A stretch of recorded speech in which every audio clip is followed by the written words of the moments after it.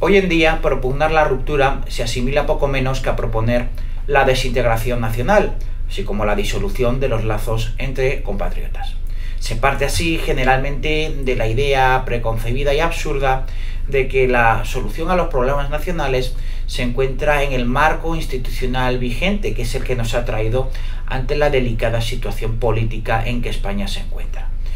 Eh, y concretamente en la Constitución del año 1978, sacralizándola y haciéndola así como, mm, digamos, eh, la solución a todos los problemas como tabla de salvación a la que agarrarse, cuando en realidad lo que hace es hundirnos aún más en el proceso de desintegración nacional, de recorte de libertades individuales, así como eh, institucionalizando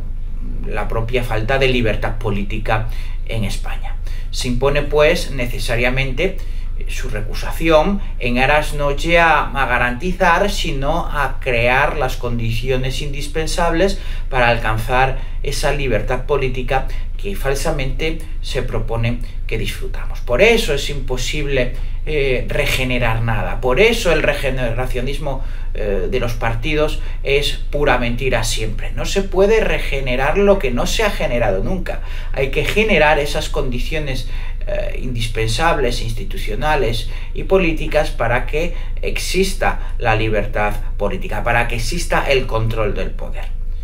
Efectivamente, no puede ser la solución al problema nacional, un código principal, porque me niego a llamarlo constitución, porque no constituye nada, eh, que partiendo de una ficción rusoniana como la que figura en su artículo 1.2, señala que la soberanía nacional reside en el pueblo, para luego y a la vez atribuir a los partidos políticos el monopolio de la acción política en división de funciones y potente, sin embargo, unidad del poder. Así, los electores quedan siempre reducidos a meros espectadores pasivos del juego político eh, y una sociedad civil sin intermediación eh, viene desde luego abocada a la quiebra, como decimos, entre esa eh, ya no sociedad, sino auténtica creación de una clase política que nace a partir de ese texto constitucional, de ese marco institucional del año 1978. Eh, la sociedad civil queda así privada de las facultades de control y de posibilidad de reproche de las actuaciones de esa auténtica clase, imperando por el contrario la ambición de partido convertida así en auténtica y primera razón de Estado. No es por tanto ni puede ser la solución invocar en aras a la unidad nacional la conservación de un sistema electoral que además de favorecer el proceso centrifugador del Estado que actualmente padece España, discrimina a la ciudadanía como sujeto de sufragio en virtud del terreno donde radique su residencia, donde haya de ejercer ese eh, derecho cívico eh, que es el voto. Tampoco lo es mantener la existencia de un poder judicial que no resulta independiente ni siquiera titularmente, eh, porque como mm, he dicho en otras ocasiones, a partir del artículo 117 de la Constitución, lo que se hace es cualquier cosa menos definir al Poder Judicial. Lo que se hace es establecer las características de independencia y probidad que deben caracterizar a todo juez y magistrado, como si una Constitución pudiera decir lo contrario. Es redundante. A todo juez se le presume que no es un, un prevaricador y que tiene que ser independiente eh, e inamovible en el ejercicio de sus funciones. No reside ahí la facultad jurisdiccional del Estado, sino que radicaría en una auténtica eh, justicia independiente, eh, no en la virtud del juez particularmente señalado. Además, un sistema jurídico, el español, en el que el responsable eh, del Ministerio Público, activo democrático para la defensa del derecho, resulta eh, nombrado directamente por designación eh, por el jefe del partido en el poder. Estas evidencias no son apreciadas por la mayoría por el efecto anestésico que tiene el sistema de libertades individuales y derechos sociales otorgados sobre la conciencia de si se vive o no con auténtica libertad política. En efecto, mm, libertades existen. Lo que no existe es libertad política, ni colectiva, ni luego como modo de controlar el poder una vez ejercida. Así se sufren sus consecuencias de esta falta de libertad política y en clara paradoja se acude al propio texto eh, que, priva de ella a, los españoles eh, como si fuera su auténtico remedio. Es cierto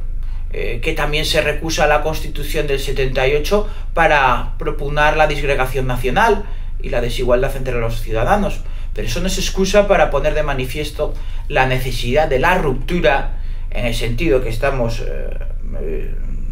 defendiendo nosotros como auténtico sustento de la revolución democrática, de la alternativa democrática, eh, que precisamente tiene sus consecuencias contrarias. Ruptura, pues, eh, con razones de pura democracia, que sirva para alcanzar una verdadera separación de poderes, que necesariamente implica un ejecutivo electivo de forma directa por todo el cuerpo electoral y de mandato limitado separadamente al cuerpo legislativo. Solo así acabará para siempre la impenitente búsqueda de mayorías absolutas como única forma posible de gobierno, que se convierte así en la estabilidad de gobierno como segunda razón de Estado.